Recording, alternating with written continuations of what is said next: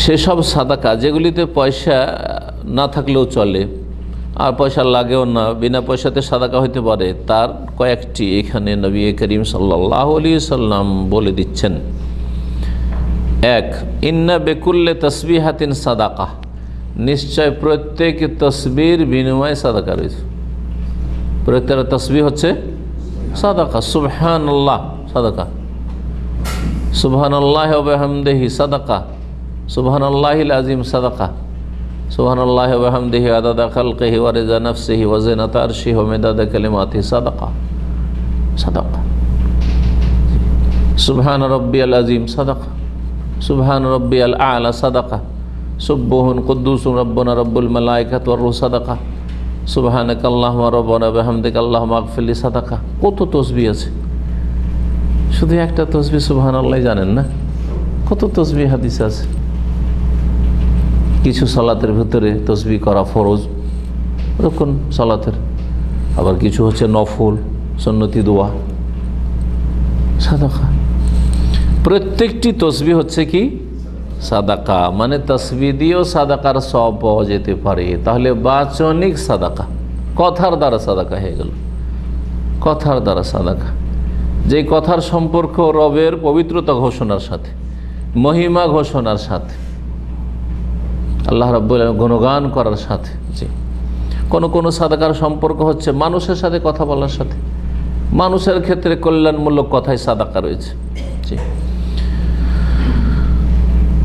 অকুল্ল তকবির তিন সাদাকা, আর প্রত্যেক তকবীর হচ্ছে সাদাকা। আল্লাহ আকবর, সাদাকা। তকবীর কখনো ফরোজ রুকুন, যেমন সলাতের ভিতরে তকবীর ফরোজ আজানের তকবীর ফরজে কেফায়া একামতের তকবীর হ্যাঁ? তারপরে আরও তকবীর রয়েছে। হজের তকবীর তওয়াফে তকবীর, আছে না? জবাইয়ের তকবীর ইসমিল্লা আল্লাহ আকবর, কত জায়গায় তকবীর রয়েছে? তকবীর তকবীর হচ্ছে সাদাকা। যতগুলি ভাষা দিয়ে হাদিসে তকবীর রয়েছে, সবগুলি সাদাকা। আল্লাহ রব- বড় তো, তকবীর কবিরুন থেকে আল্লাহর কিবরিয়া বর্ণনা করা, আল্লাহর বড়ত্ব ঘোষণা করা। আল্লাহ আকবর, শুধু মুখে নয়, মন্ত্রে নয়, আল্লাহ যে সবচেয়ে বড়, এটা আপনার জীবনে প্রতিফলিত হইতে হবে যে সত্যি আল্লাহ রব্বুল আলম সবচেয়ে বড়। সুতরাং আল্লাহ রব্বুল আলমিনের কাছে আসা সবচেয়ে বড় আশা।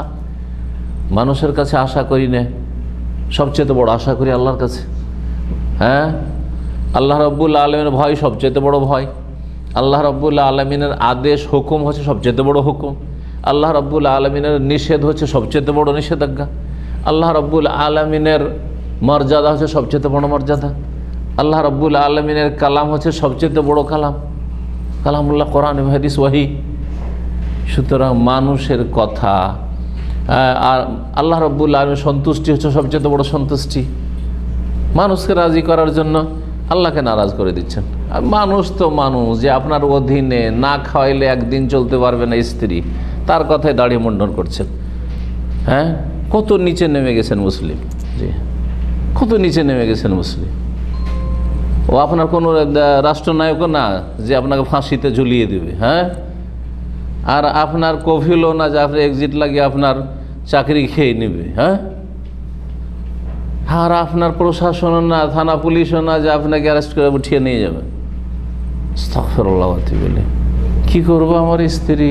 রাজি হয় না লজ্জা লাগে না মুসলিম কথা বলতে?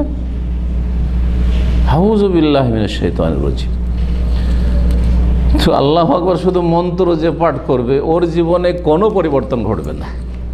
আর যে সত্যিকার অর্থে আল্লাহ আকবার বলবে, আল্লাহ সবচেয়ে বড়। সুতরাং আল্লাহ রব্বুল আলমিনের সাথে সম্পর্কিত সব কিছু সবচেয়ে বড়। আল্লাহকে রাজি করা আমার লাইফে সবচেয়ে বড় কাজ। আল্লাহ নারাজ হয়ে যাবেন এই চিন্তা আমার সবচেয়ে বড় চিন্তা। জি। সুহান আল্লাহ খালাস। আল্লাহ রাজি থাকলে কে রাজি হইল আর কে নারাজ হইল ওটা আমরা দেখার বিষয়। হ্যাঁ রাজি হইল হইল না হইল না হইল। আমি কাউকে ইচ্ছা করে কষ্ট দিইনি। সে অন্যায়ভাবে কষ্ট পেলে আমার করার কি আছে আমার বাপ নারাজ হয়ে যাচ্ছে, বাপ বলছে যে তোর মা মরেছে কোর খাবার দাবার করবি না হ্যাঁ ভোজ করবি না, গ্রামবাসীকে, দেশবাসীকে খাওয়াবি না। আরে বাপকে রাজি করা, গ্রামবাসীকে রাজি করা, আল্লাহকে নারাজ করে, বেদাত করে, আর জাহান নামে গিয়ে আউজবিল্লা তকবীর আসলে আমাদের মুসলিম সমাজের এক তো অধিকাংশ বেনামাজি। আর বাকি যে কয়টা নামাজি আছে, তার অধিকাংশই শুধু মুখে তকবীর বলে। কাজে কর্মে তকবির তকবির নেই। আল্লাহর বড়ত্ব নেই। প্র্যাকটিক্যাল নেই আসলে। বাস্তবায়ন নেই আর আসলে। সুতরাং এই দিন থেকে, আর এইসব কালেমাত থেকে, এইসব জিকির আজকার থেকে, তসবি তাহলিল থেকে আমাদের জীবনে কোনো রকম পরিবর্তন ঘটে না।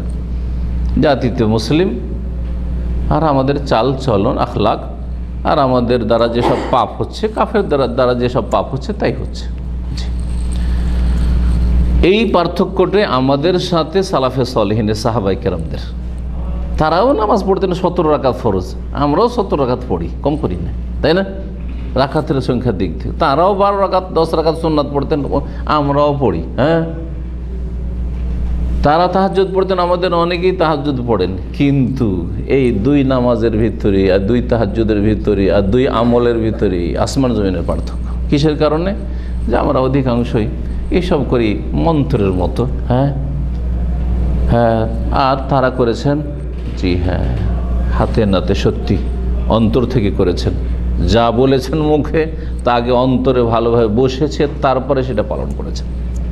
সেই জন্য তাদের জানমালের কোরবানি করা আর সমস্ত কিছু আল্লাহ রাস্তায় দান করে দেওয়া, ইসমাইল ইসলামের খেদমাতে দিয়ে দেওয়াটা কোনো ব্যাপার না।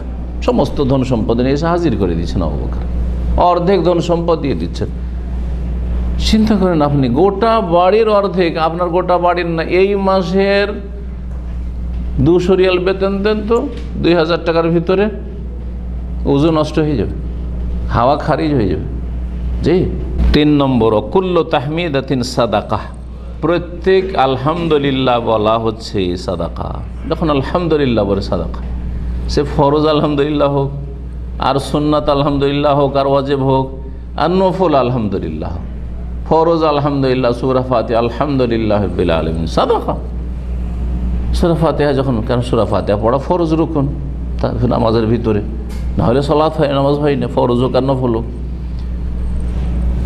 আর এমনিতে যে কোনো সময় আলহামদুলিল্লাহ বলছে, নফল। যেসব ক্ষেত্রগুলিতে নবী সাহসাম আলহামদুলিল্লাহ পড়েছেন, খাওয়া দাওয়া শেষ করে, আলহামদুলিল্লাহ বলেছেন, কোনো নিয়ামত পেয়ে আলহামদুলিল্লাহ। তাই না? পানিটা পান করে আলহামদুলিল্লাহ। এটা খুশির খবর এলো, আলহামদুলিল্লাহ। সন্ন্যত এগুলো। তো প্রত্যেকটি তাহমিদ সেটা ফরজ হোক আর সুন্নত নফল হোক, সাদাকা। ওকুল্লে তাহলিলাতিন, বা কুল্লে পড়া যেতে পারে, ইন্না বেকুল্লে যেহেতু, বেকুল্লে তসবিহাতুর ও বেকুল্লে তাহলিলাতিন সাদাকা। আর প্রত্যেক লা ইলাহা ইল্লাল্লাহর বিনিময় সাদাকা রয়েছে। তাহলিল বলা হয়, লা ইলাহা ইল্লাল্লাহ বলাকে। হাল্লাল্লাহ ইউহাল্লেলো, তাহলিল মানে হচ্ছে লা ইলাহা ইল্লাল্লাহ বলা। আল্লাহ ছাড়া কোনো সত্য উপাস্য নেই। লা ইলাহা ইল্লাল্লাহ, এইটি হচ্ছে সাদাকা। জি। আর লা ইলাহা ইল্লাল্লাহ বলতে হবে। এতে এই নয় যে আপনি জিকির করবেন বলেন লা ইলাহা ইল্লাল্লাহ মোহাম্মদ রসুল্লাহ এটা বেদাতিদের জিকির, ইসলামী জিকির না এটা। ঠিক তেমনি লা ইলাহা ইল্লাল্লাহতে কমিয়ে দেওয়া। প্রথমটি এজন্য চলবে না যে জিকির কার? আল্লাহ না রসুল্লাহর আল্লাহর জিকির, শুধু আল্লাহর জিকির হচ্ছে লা ইলাহা ইল্লাল্লাহ। আর মোহাম্মদ রসুল্লাহ পড়ছেন মানে তাহলে রসুল্লাহ শুধু জিকির করছেন। কোরআন বলছে ওইজ করুল্লাহ ফাজ করুনি আমার জিকির করো। রসুল জিকির নয় রসুল্লাহ অনুসরণ করো। রসুল্লাহ সাল্লামের আনুগত্য করো। রসুল্লাহ সাল্লাহ সাল্লামের আদেশ নিষেধ মেনে চলো, আমা তাকুম রসুল ফাখজ কিন্তু রসুল জিকির নাই। ইয়া রাসুল আল্লাহ ইয়া রাসুল ইয়া রাসুল আল্লাহ করবেন আপনি মোহাম্মদ রসুল মোহাম্মদ রসুল, মোহাম্মদ রসুল্লাহ করবেন না, চলবে না। বেদাহাত এগুলো ঠিক তেমনি লাইহা ইল্লাল্লাহতে মাইনাস করা, ইল্লাল্লাহর জিকির, বেদাতে জিকির। আরও মাইনাস করা, আল্লাহু, শুধু আল্লাহর নামের জিকির করা। ইয়া আল্লাহ, ইয়া রহমান, ইয়া রাহিম, বেদাতি জিকির এগুলো। আর মাইনাস করতে করতে বলছে যে একেবারে ফানাফিল্লা হু হু করলেই চলে শুধু। আল্লাহ লাগবে না, শেষে হুটা। লাহু, লামও লাগবে না, শুধু হু, হোয়া। হোয়াকে যদি অফ করেন তো কী হবে? হু। হোয়াতে যদি এ জজম দিয়ে তো হু। হু হু হু হু মানে হোয়া হোয়া হোয়া, তিনি তিনি তিনি তিনি তিনি করলেই চলে। এগুলো হলো বেদাতিদের জিকির, সুফিদের জিকির, এগুলো ভণ্ড পীরদের জিকির, আর সবগুলি ভণ্ড। আবার এটা ভাবেন না যে আমাদের দেশে হক্কানি পীর আছে। যেসব বক্তারা, যেসব আলেমরা দেশে ভাগ করেছে, যে সব পীর খারাপ না হক্কানি পীরও আছে আর ভণ্ডানি, ভণ্ডা, ভণ্ড পীরও আছে, তারাও গুমরা কেন? কুল্লু বিদাতিন দলাল্লাহ সবগুলি বিদাতি যখন গুমরাহি, তো গুমরাহির মধ্যে পেশাব। তবে এই পেশাবটা ভালো। এটা হুজুরে কিবলার পেশাব বা আমার বাবা মায়ের পেশাব। আর এই পেশাবটা আমার বাচ্চার পেশাব, সেজন্য খারাপ, না? নাকি? না দুটোই পেশাব? দুটোই পেশাব দুটোই পেশাব, ঠিক ওই রকমই। বেদাতে হাসানা সাইয়ার ভাগ নেই, আর পীরেরও ভাগ নেই। পীরতন্ত্র বেদাত, টোটালি ওই রকম বেদাত মেদাম বেদাত জাহান নামে যাওয়ার কাজ। লা এলাহা ইল্লাল্লাহর জিকির করবেন না। লা এলাহা ইল্লাল্লাহর জিকির। বাড়িয়াও না আর কমিয়াও না। আবার একা একা জিকির করবেন, এটা হচ্ছে সন্ন্যতি জিকির। সম্মিলিত একসাথে না। ভাই, আমরা একটু মহাব্বতের সাথে জিকির করি তো? সুর ধরে। বেদাত। হ্যাঁ? হুজুর বলছে একটু মহব্বতের সাথে জিকির করেন। দিয়ে শুরু করে তো লা ইল্লাহ আর আপনার ইল্লাল্লাহ করছেন। ও বক্তা নাস্তিক।